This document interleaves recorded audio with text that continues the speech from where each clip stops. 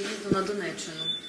С рабочим э, визитом группа депутатов оппозиционной платформы «За жизнь» находится здесь, в Донбассе.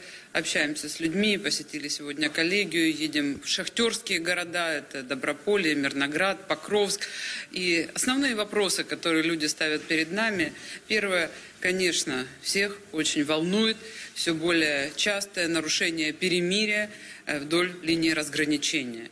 Участившиеся боевые действия, отсутствие как такового плана действий по реализации Минских соглашений и у людей, конечно, очень этот вопрос сегодня главный на повестке дня и главный волнующий.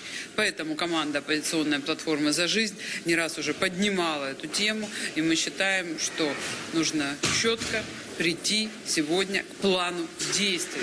Не замалчивать этот вопрос, не прятать голову в песок, а все вместе объединить свои усилия для того, чтобы как можно быстрее люди почувствовали, что у нас не только разговоры о мире идут, а что есть наконец-то свет в конце туннеля приближения мира у нас здесь на Востоке. Это первый вопрос. Второй вопрос, который самый насущный, касается сегодня людей каждой семьи в нашей стране, это вопрос тарифной политики.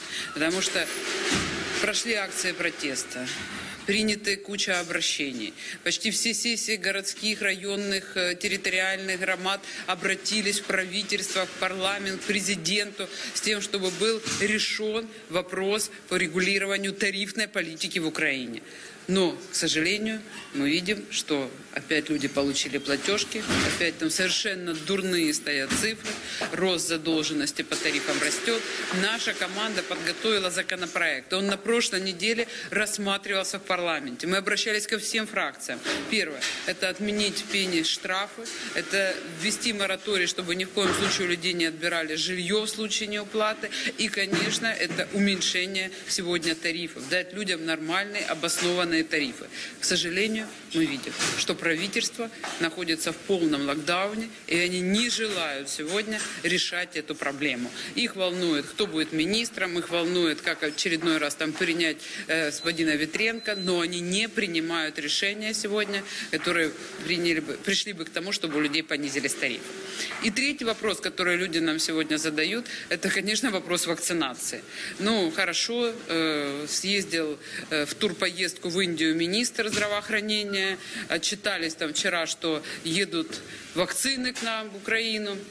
Но ни логистика доставки этой вакцины, ни уверенность в качестве этой вакцины. И, конечно, людей это очень волнует и беспокоит. Поэтому мы призываем и правительство, и парламент э, либо обосновать качество этой вакцины, чтобы у людей не было переживаний и беспокойств э, насчет своего здоровья, четко объяснить логистику, алгоритм вакцинации в нашей стране, и чтобы ни в коем случае не было насильственной вакцинации, скажем так, как сегодня обращаются там к медикам, к учителям, что э, вплоть до того доходит, либо ты будешь делать вакцину, либо тебя уволят. То есть это недопустимая история, потому что должна быть четкая, понятная программа. Мы считаем, что это должно быть принято на уровне правительства и парламента, и каждый человек должен понимать, если у него есть желание, он должен иметь доступ к выбору вакцин, и вакцина должна быть бесплатна. Если человек считает, что он не хочет делать вакцину, никто не должен его в этом заставлять и принуждать его к этой вакцинации. Только добровольность,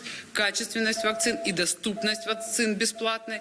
Сегодня задача обеспечить правительство. Мы видим, что они этого сделать не могут, потому что деньги с фонда растрынкали, э, они отчитываются о строительстве колоссального количества дорог, а за эти деньги можно было купить 51 миллиону доз качественнейшей вакцины в нашу страну.